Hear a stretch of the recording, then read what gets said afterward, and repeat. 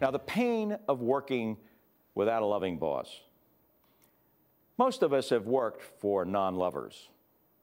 One boss made me uncomfortable just by being in his presence.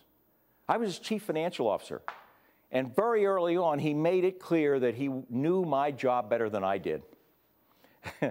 he never actually had to say anything to cause me to doubt myself. After several months of this unexplained fear, I dreaded going to see him. As the situation was getting worse, not better.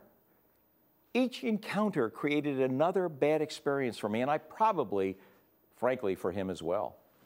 I had a difficult time understanding what was happening to me until one day when we were discussing another person who had caused some difficulties in the company, and he said to me, I do not trust him. But then, I do not trust anybody. And you, Gerry, your problem is you trust people. My advice to you is to recognize that the people who work for you are just human resources of the business, and you need to use them as if they are expendable. The only thing that matters is that we get the job done, and that means you need to check up on everything those people do.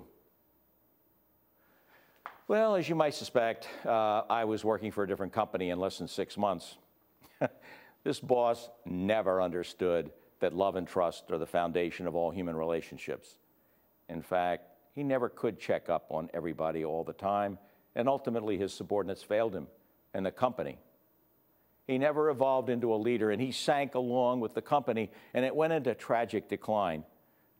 In this case, his employee's failure was his.